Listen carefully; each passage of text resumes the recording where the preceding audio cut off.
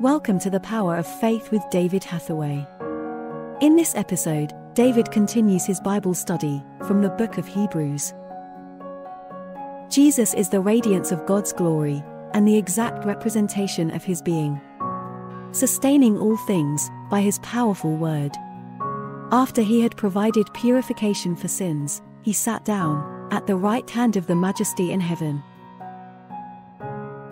The book of Hebrews links God's saving power with his creative power. In other words, the power that brought the universe into being and that keeps it operating is the very same power that cleanses our sins. No sin is too big for the ruler of the universe to handle. He can and will forgive us when we come to him through his Son. That Jesus sat down means that the work of salvation was complete Christ's sacrifice was final.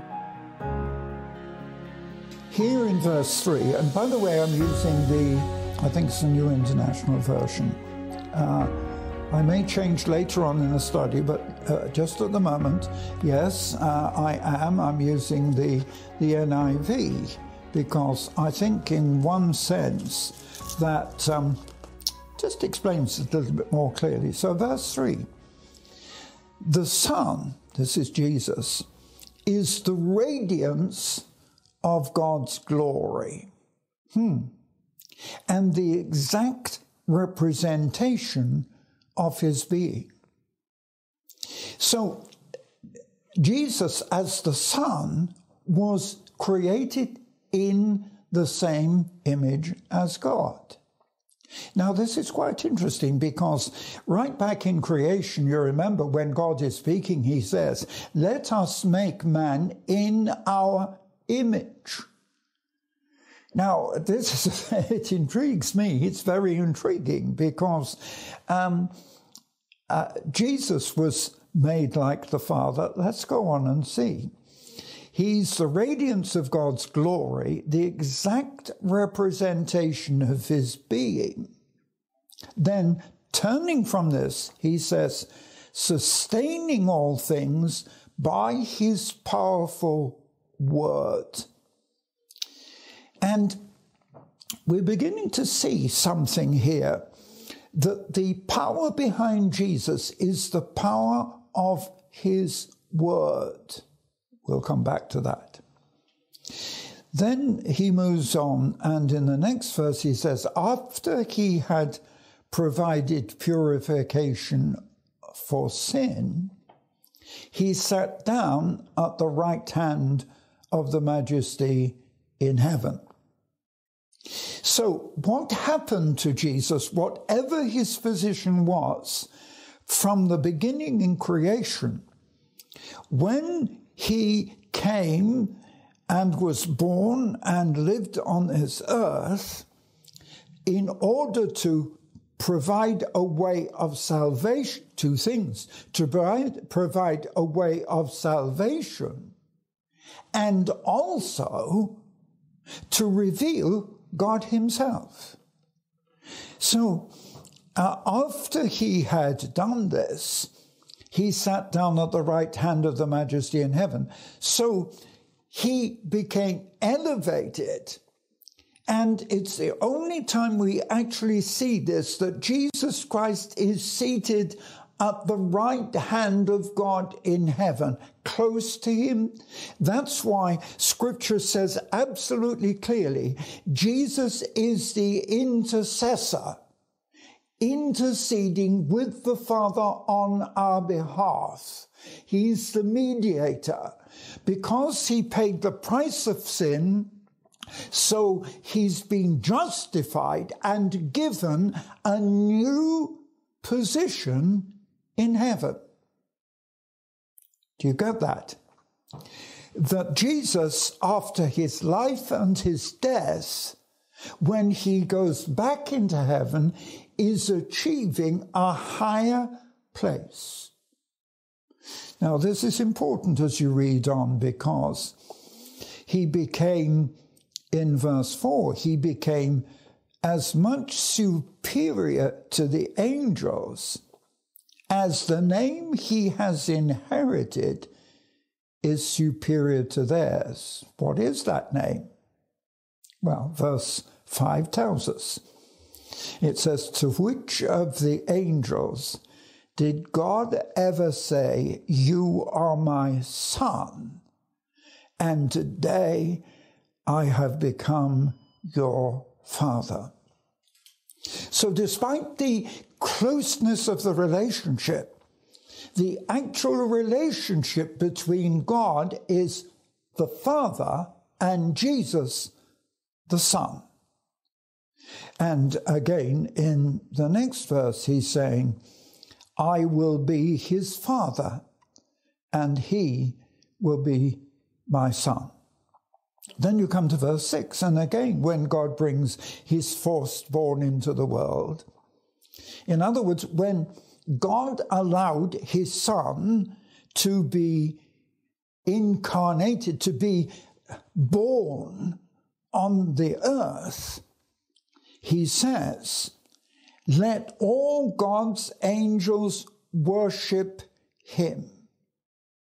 So the very fact that Jesus became the tangible, visible image of God on earth, the angels are now instructed to worship him.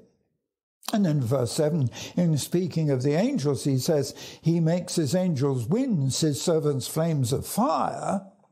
So, in other words, the angels have a power, a place, and a position in heaven. But verse 8 about the Son, he says, Your throne, O God, will last forever and ever, and righteousness will be the scepter of your kingdom. You've loved righteousness, hated wickedness. Therefore, God, your God, has set you above your companions. So there are clear relationships in heaven. And in the, the Bible refers to the host of heaven. It refers to a few other things which we might deal with later.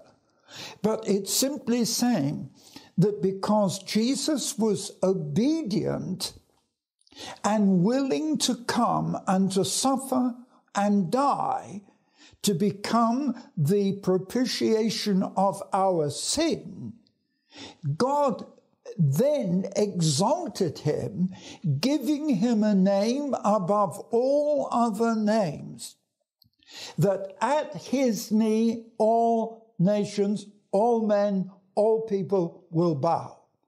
So it was the obedience, because that's the only thing I can see. It was the obedience of the Son being willing to come down and be born like us, live like us, share like us, yet totally without sin, so that he could be the one who could be the sinless sacrifice, the sinless Son of God. Because of that obedience, are you getting it? Then he's honored by the position that he's given. And you know, it's, it's very interesting when you come back to the question of sin and the fact the Bible says all have sinned and uh, come short of the glory of God. God did not create sinners. God created Adam and Eve, and if you really examine the scripture, they weren't created to die, they were created to live. But why did they die? They died because of disobedience. And the first sin was simply they listened to the temptation of the devil who questioned God and said, Has God said? And you know, this is the whole essence and I, I, am going to have to emphasize this. The whole essence of God's authority, God's power, is that we obey Him without questioning. After more than 70 years of ministry, David Hathaway has proved that God answers prayer. Through his book, The Power of Faith, David wants to show how you too can live in the fullness of the power of God. God's fire has been burning in David's soul, a passion to see the power of God demonstrated on earth. And he wants to pass this fire, this passion, on to you. This book is the amazing testimony of the faith which has sustained him all his life. And a demonstration of what God can do through you when you believe and act in faith. Order David's book, The Power of Faith, by visiting our website eurovision.org.uk forward slash shop. Thank you for listening to the Power of Faith broadcast with David Hathaway. We would love to hear from you. Contact us by visiting eurovision.org.uk. Also available online are many free teaching resources to help you on your walk with God. David has written many faith building books to encourage and inspire. Order these online today. Each month, David ministers online and in person. Our ministry is only possible because of the faithful support of so many people. For details on our evangelism and humanitarian relief work, visit eurovision.org.uk. Thank you again for listening.